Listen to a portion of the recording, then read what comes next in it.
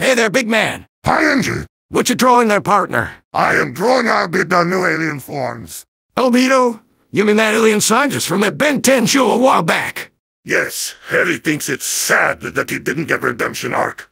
But that was probably the writer's doing. Yeah, so you're giving him new alien forms. Engineer, are you aware of the show? The Owl House. Did someone say the Owl House? What's wrong, Solly? I love the Owl House. It is one of the greatest couples ever and is the most progressive Disney show with a gay agenda. So soldiers support gay rights. Yes, I might not trust anyone from another country straight away, but I am a firm believer that love is love no matter the gender. That's great to hear, Solly. The Heavy thinks that too.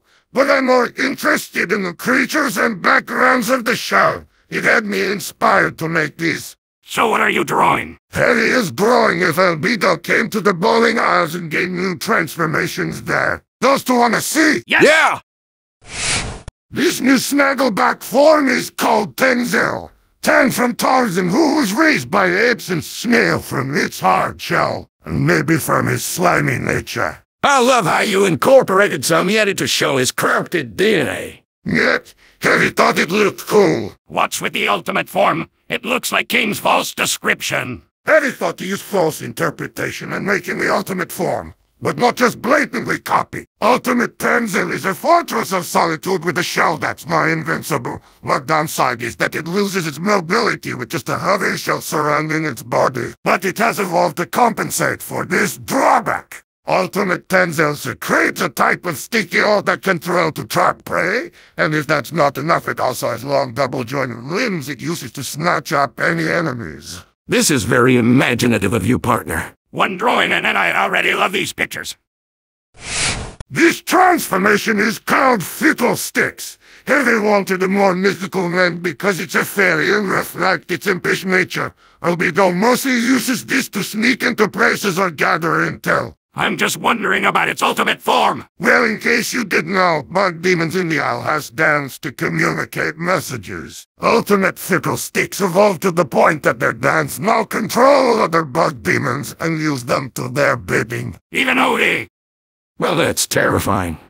Drawback to this form is that it can't sneak into places easily anymore and that it loses its giant jaw since it has other demons protecting it from harm. I may not be an evolutionary biologist, but I do love these concepts. Show us the last one. I am drowning in my own sweat and excitement.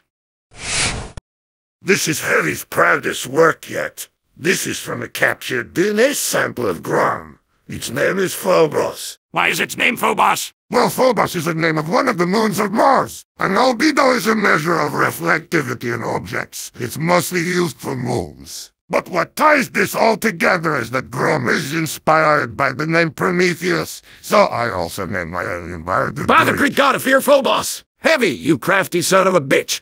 I knew the Russian literature PhD wouldn't be wasted on the English language. Heavy takes that as compliment. I understand the second half at least. So I based Phobos' design off the humanoid form the Grom takes to rip Amity's leather. Oh, I like that reference. I also added the watch on the face to reference Omniverse upgrade, and I thought adding eyes would be cool. Ultimate Phobos is the most unique ultimate yet.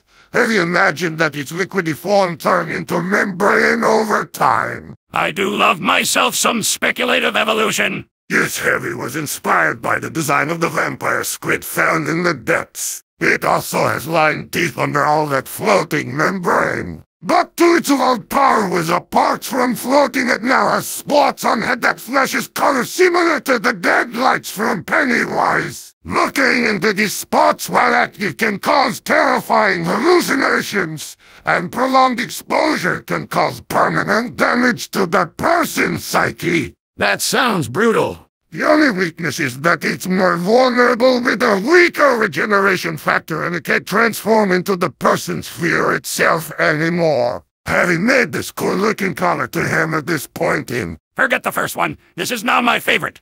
Your ideas of these ultimate forms are really good, Heavy. Thank you, engineer. I haven't felt this good since we played that FNAF special delivery a while back. Maybe I'll show my drawings to the rest of the team when I'm done with them. Maybe I'll do an ultimate witch transformation. You are now legally bound to show to me first when you're done. Come on, fellas, the round is gonna start any minute now.